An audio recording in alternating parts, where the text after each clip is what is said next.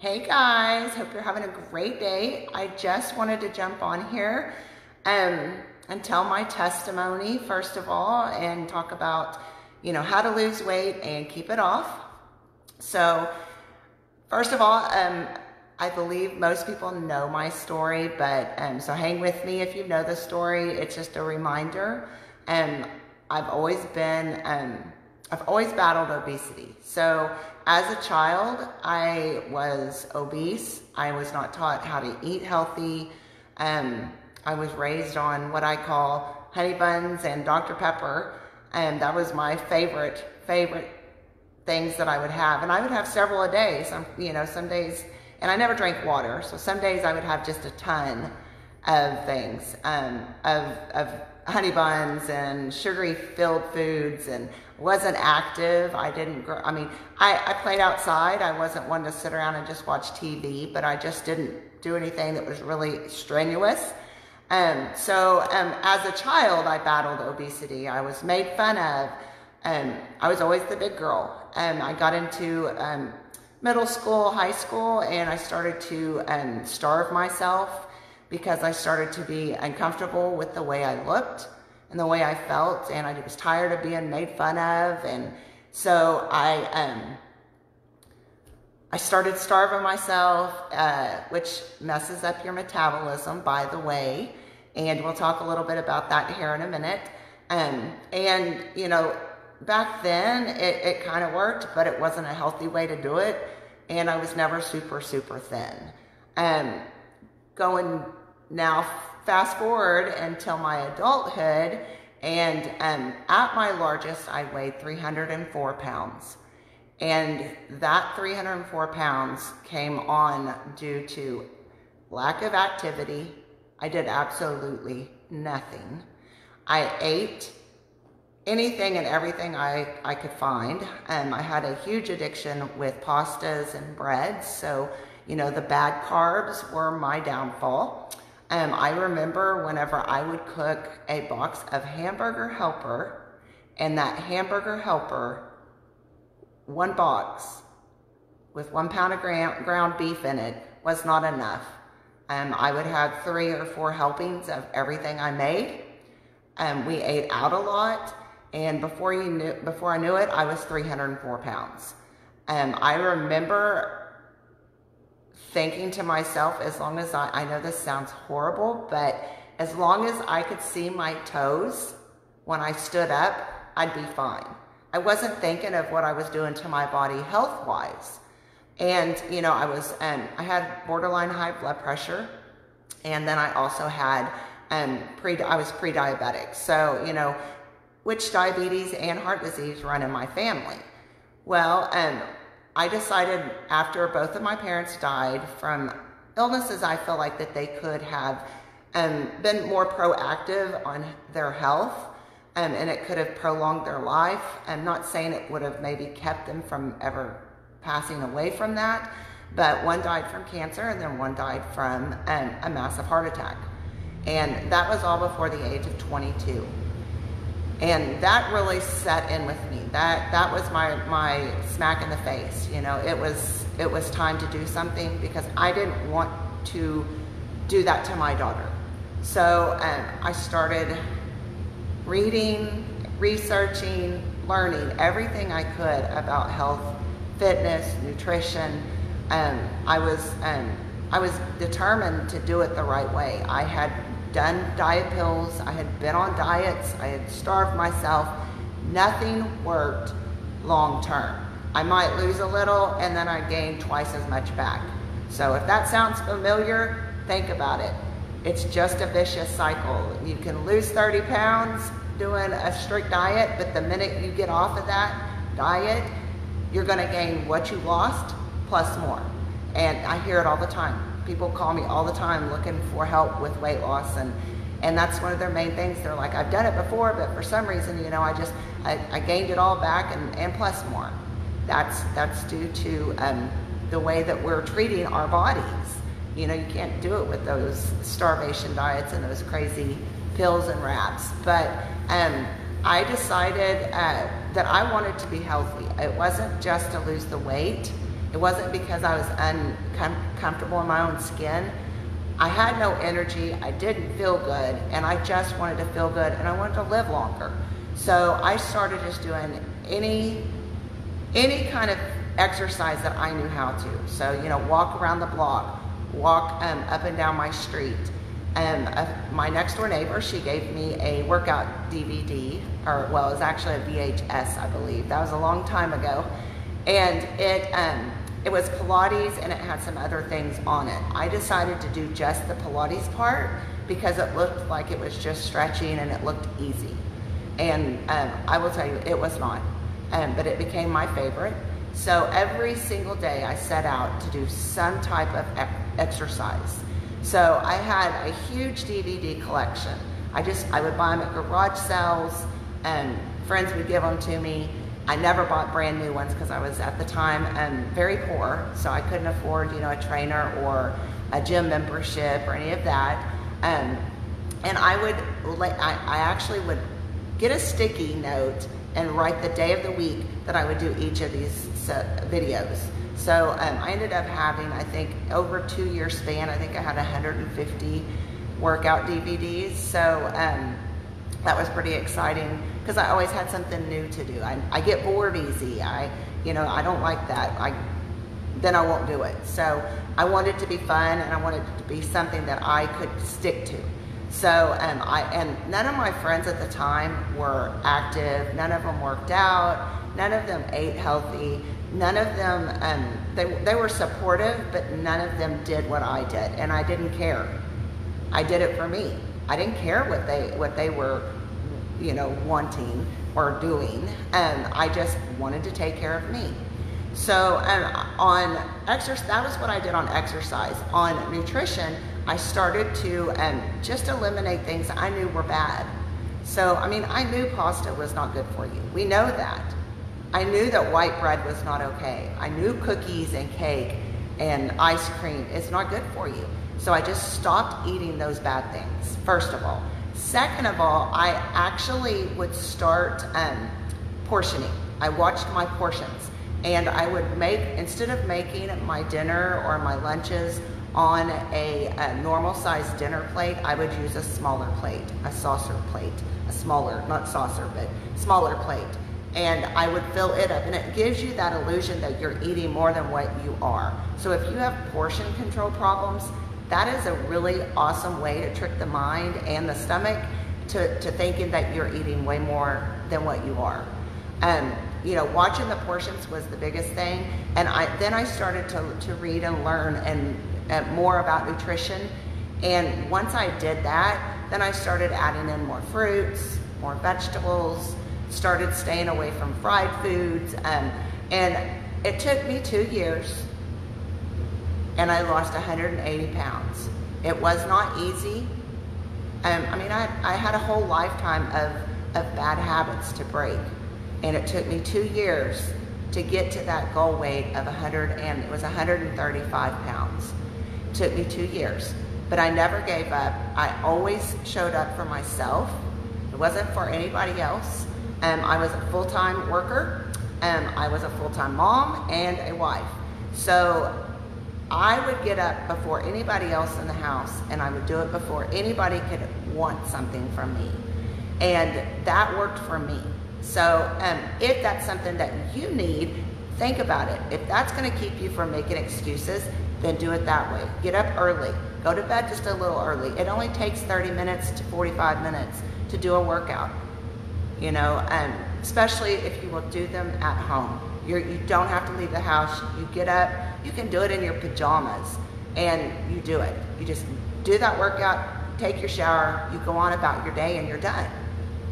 And that was one of the things that I changed. Another thing is, is when I, if I didn't get it in in the morning, say I overslept, um, everybody knows I love my sleep. Um, if I overslept, I would um, come straight home from work, and I would look, I would, you know, see my daughter, give her a hug and a kiss, tell my husband hi, and then I would say, give me 30 minutes, I'll be right back. And I would go straight into our spare room, shut the door and lock it, and do a workout. And then they got 100% of my attention. But they, they at first it was tough, you know, little fingers under the door because she was two years old, three years old. You know, Mama, what are you doing? But I, I would talk to her, but I would just keep going, and I, I took that time for me. And after a little bit of time passed, it just became natural for them. If I was working out, it was fine. Then it got to where she was more interested, so then I included her in workouts where we would go to the playground or we'd go for a walk. Um, and it became more of a, a, a fun thing for us. And I wanted her to grow up thinking it was fun, not, not just a chore or just because you ate bad. It was to be healthy and it was fun and and and it worked. So you know, as she's grown up, she she does like to exercise. Um, but when it comes to losing weight and keeping it off, I mean, I've kept it off now for I think it's 19 years. Um, I still struggle. Yes, my weight goes up and down. I don't weigh every day because you know food weighs, and if you haven't gotten rid of it or used it all your body's going to weigh more. And muscle weighs more than fat. So, you know, I work out quite a bit. So it, it's just what it is. So I don't even weigh. I don't weigh. But I feel good. I'm happy with the way I look. And after 19 years, I still spend every day struggling that bad habit. So, you know, it'd be so much easier if I could just say, you know, I'm just not going to do anything. Um, I don't feel like it. And I have bad days where I do that, but I don't stay there. Because if I do one day, then I want two days, and I want three days, and I want four days, and then it becomes a cycle. And I, I refuse to go back to feeling bad and being unhealthy. And after all this work I put in, because I, I know how hard it is, and I'm not saying that losing weight is easy, um, but you can do it the right way and you can keep it off. The right way to lose weight is exercise, and it doesn't matter what kind of exercise. You know, don't listen to all that mumbo jumbo on the, the social media or online or wherever. Um, if you want to dance, dance. If you want to walk, walk. If you want to do strength training, do it. Do something. Make sure it's something you love. And you want to do at, at least five days of exercise. Make it a habit. Do it the same time every day. Do it the same time, you know, each week. Whatever you have to do to make it become a habit. So don't don't think that you have to do it one way or the other. Everybody's body is different. So if you're struggling to lose weight and you think you're doing exactly what you need to do, it could be that your nutrition isn't linking up with the type of workout you're doing. And that happens. If you are running marathons, but you're or, or, and you're still not losing weight, but you're eating good, but you're only eating, you know, a thousand calories, you're not eating enough. You have to eat to fuel the body. That's the hardest thing for people to understand. Food is not your enemy. Food is food is our fuel. That's what that's what makes us go. That and water, which you should drink a lot of that as well. But you know, to keep to, to lose weight and keep it off, exercise five five days a week. Don't do the same thing every day. You want to alternate different things. That way your body keeps guessing. Walking is free and it's amazing for helping you to lose weight. It's good for your health. It's good for um, diabetics. It's good for people like me with rheumatoid arthritis. I mean, the good Lord gave us feet. We can walk, you know, and, and I've even met people that have, uh, you know, one leg and they do a lot of walking.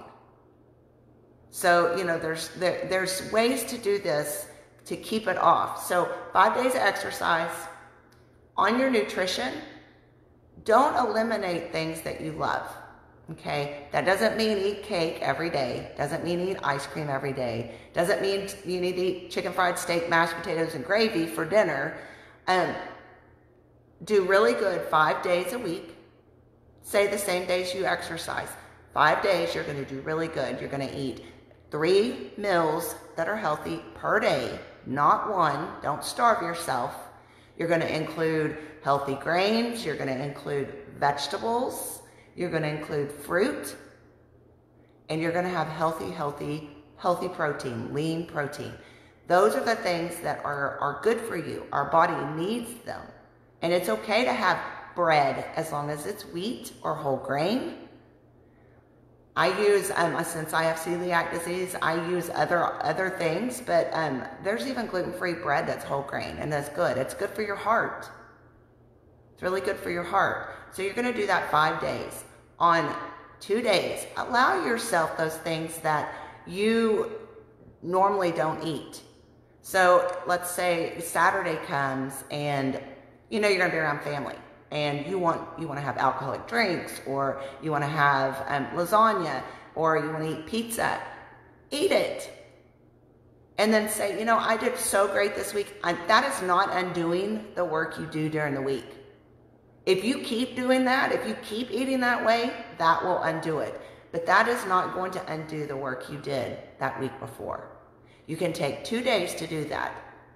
I have found that I actually don't cheat. I call them cheat days. They're not really cheat days, but um, kind of more like prize days. But um, I have found I just don't do as bad because I don't like the way those foods make me feel anymore.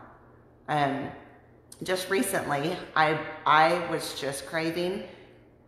it's crazy. I was craving pancakes, bacon and eggs, and and I had my husband make me. He's such a great cook and so sweet, but he made gluten-free pancakes. I put peanut butter on it, lots of peanut butter, not a little, a lot of peanut butter, and then I put real really bad syrup all over it. I had like, I don't know, four or five pieces of bacon and two or three eggs.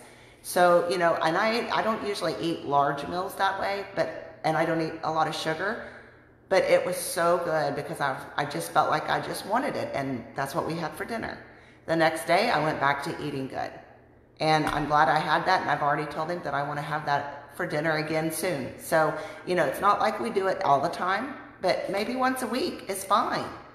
You know, now if you're drinking Dr. Pepper all day long and you're adding all these extra calories that way and you're not exercising, it's not good.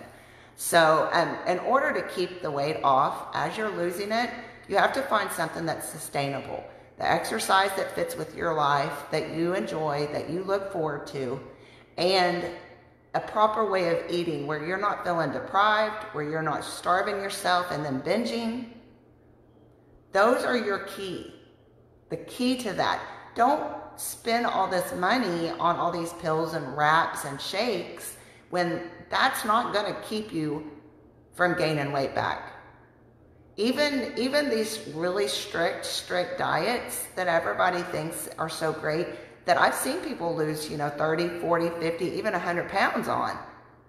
But as soon as they stop doing that, they're going to start gaining it right back. So whatever you do, it needs to be a lifestyle change that you're not going to stop doing. You're going to do it for the rest of your life. And you're going to struggle and you're going to have days where your weight goes up five pounds or three pounds and then it goes back down. It, it's just the way it is. Our bodies are just set up that way. So drink lots of water that flushes the body um, and the toxins, and our body needs that to function properly. So that is my key. And it, it's it really is super simple. Don't overcomplicate it.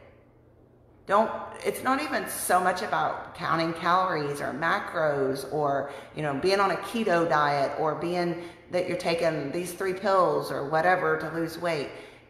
Just don't overcomplicate it. Feed your body good, healthy food, and your body's going to work with you. It's going to be, you're going to have a better immune system, which we all need right now, more than anything. We need to, to eat properly, stop eliminating all these, these you know, food groups because you think that fruit's bad for you or, or vegetables. They're not. Your body needs that. It's the vitamins that we need. The vitamins and minerals and the food that we eat are what are going to keep us healthy. Plus, you're going to lose weight while you're eating it. I mean, it doesn't get any better. It's like a win-win situation. Um, exercise also boosts your immune system. So, you know, find what works for you. And if you need help, I'm here. Um, it does not cost to schedule a consultation with me. It's a free consultation. And I don't mind answering questions. Um, but don't overcomplicate it. It's really more simple than what you make it to be. I know New Year's New Year's resolution time is coming up, and that's kind of a taboo thing for me. Um, I don't really like New, New Year's resolutions. I have New Year's goals. So I have goals that I go, I set myself for the year, but it's never weight loss or never, you know, do this or do that. It's usually something to do um, with uh, emotional or mental um, health of, of myself. So think of that. Don't make it a New Year's resolution to lose, you know, 50 pounds or 20 pounds. Just, you know, think about what you need other than that. When it comes to the, what we've just went through for 2020, 2021, we have to go into it with, with um, our health, with our immune system being high, with our brain being functioning properly, thinking clearly, and being ready to take on whatever else life wants to throw at us. So, you know, like I said, and I could talk all day long about this, but like I said, it's not as complicated as you think. Just don't set yourself up for failure at the very beginning. So don't do those crazy diets. Please don't do those crazy pills. Um, and another video I can talk about, but I do have a heart condition because I did diet pills. And um, yeah, I lost weight during it, but it was killing people.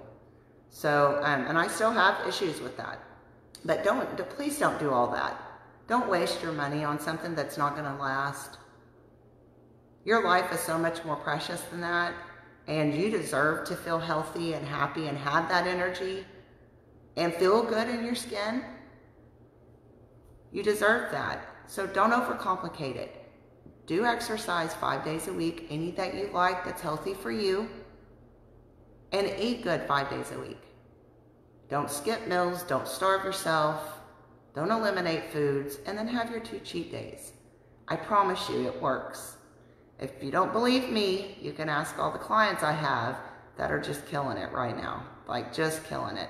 I would love to add up how much weight and inches has been lost in this year for my clients because I think it's going to be astronomical this year. They've done really great even through a pandemic. So, you know, there, there's no excuses. You just have to learn what is right for you and, and, and do it. Set your mind to it. Don't do the fast, quick fix. Do it the right way. And if you have questions, I am here. I'm going to do live videos every Wednesday at 5.30. So I hope to see you here. And if you would, please, um, share, share, share. Let other people know what I have to say and, you know, invite them to listen to me at 5.30 on Wednesdays. So I'll be posting about my next topic soon. Hope you have a great evening and I will see you all next week.